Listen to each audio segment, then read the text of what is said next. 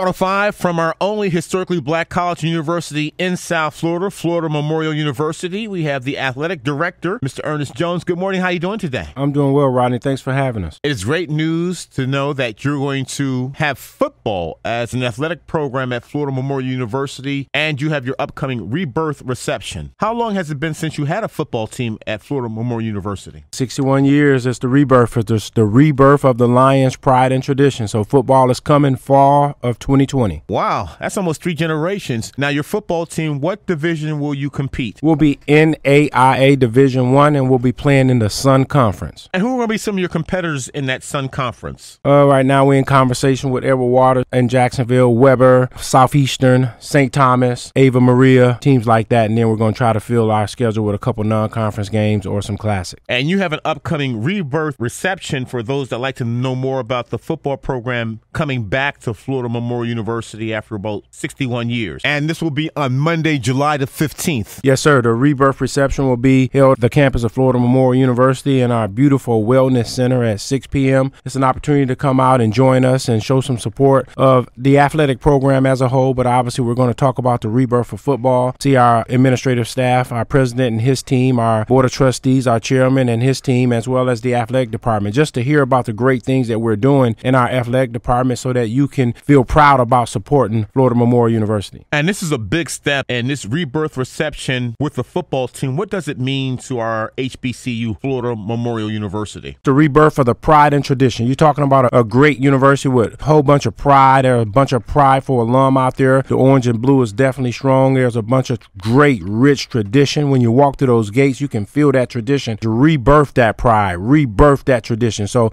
it's a great time right now at Florida Memorial. Now, when will you start playing football again at Florida Memorial University? In fall of 2020, the students are enrolling. In fact, now in summer school, we have some kids on campus who will be a part of that original team. Rest of the kids will come in fall of 19 because we're going to start practicing, training, and lifting weights, but we won't compete until fall 2020. In South Florida, we are the motherlode of football talent. You look at the NFL, the CFL, and all the talent that comes out of South Florida. So you've got the athletes here already. This is a gold mine. And on the collegiate level, you look at some of the top athletes from athletic programs around the country. Most of them have South Florida roots. So you're going to be uh, a competitor in the Sun Conference. Oh, man, it's the Mecca. The Mecca of football is right here in South Florida. We feel like we can field a team right here in South Florida. There's been a lot of attention from the high school coaches here, a lot of players in the three counties, in fact, Broward, Dade, and Palm Beach County. We'll be able to attract some really, really good athletes who don't want to go far from home. Now, at your upcoming reception on Monday, July 15th, you want the community and supporters of Florida Memorial University to come to this rebirth reception. And what's the contact number? 305 623